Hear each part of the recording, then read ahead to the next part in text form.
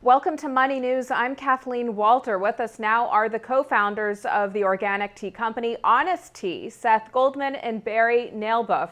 They're the co-authors of a brand new book called Mission in a Bottle, the honest guide to doing business differently and succeeding. And gentlemen, welcome. Great to be here. Well, you began Honest Tea 15 years ago with little more than a tea leaf of an idea and a passion to offer organic, freshly brewed, lightly sweetened bottled tea. And today, Honest Tea has exploded into a national brand sold in more than 100,000 grocery stores, restaurants, and convenience stores all across the country. A truly incredible story. Looking back, how were you able to win over consumers with a less sweet tea, Seth? Well, it really started with just having a different product. Um, the world does not need another beverage. Uh, the shelves are full. Um, so for us, it was really important to have something different, meaningfully different, and, and from our point of view, you know, obviously uh, better, having an advantage against what else was out there. And so just starting out as a less sweet drink was a really um, important uh, way to, for us to grab that foothold. And the book is full of panel illustrations which show the evolution of Honest Tea as a company and the hardships faced by a startup striving to find its own way. In one of the panels, it shows you, Barry, on your knees begging a beverage distributor to pick up your product. Did you really do this? Everything we say is true. The book is honest, we're honest, and the fact is that getting distribution in New York City was a make or break opportunity for us. Um, so, yes, and fortunately, uh, he took our proposal. And Seth, you note in the book that you created Honest Tea with the same honesty and integrity used to craft your products. Can good guys really succeed in business? I, I certainly hope they can. I believe they can, and, and I hope our story shows that they can.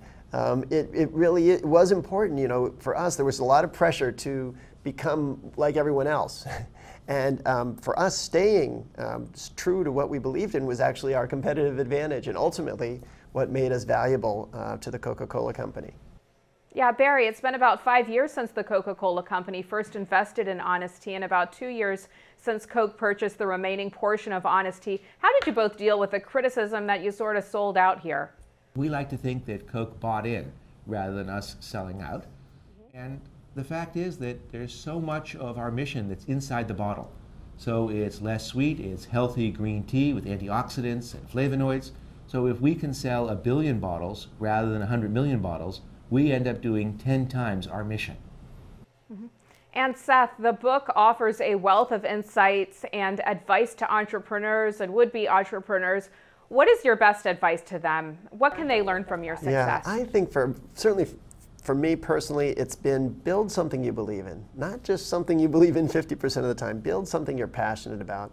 Because going into it as an entrepreneur, you're always going to have the disadvantage. You're not going to have the resources, you're not going to have the information, you're going to have cost disadvantages, distribution disadvantages. Pretty much everything um, entering is going to be at a disadvantage. So the one advantage you have is, is a belief that you can inspire your employees, that you can engage your customers and your consumers in a way that they, if you do it right, will care about you in a way they wouldn't care about another product.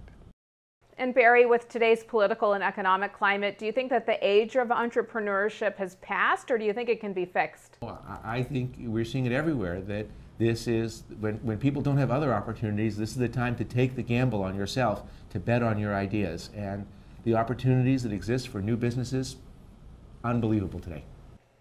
And Seth, according to the NFIB, federal regulations are costing small businesses $515 billion. And in 2012 alone, the Obama administration issued a total of 23.5 billion in new regulatory costs.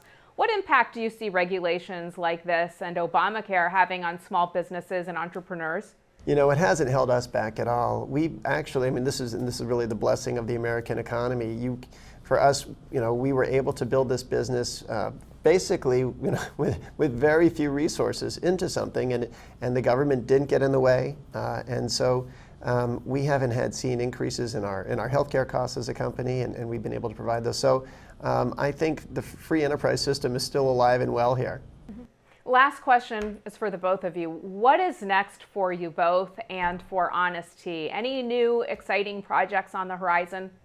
Well, I'll go first. Honest Tea is still in its uh, much, very much the hockey stick part of its growth trajectory. So we launched new products like Honest Kids, and we just have a brought out a zero calorie line called Honest Fizz, which is a, a zero calorie naturally sweetened soda line.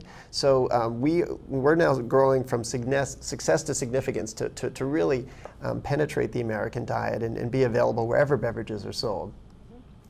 I'm back to my day job as a professor at Yale and I've started another beverage company, this time to make something that's slightly alcoholic, kombucha. The company is called Kombrewcha, and our tagline is Get tickled, not pickled.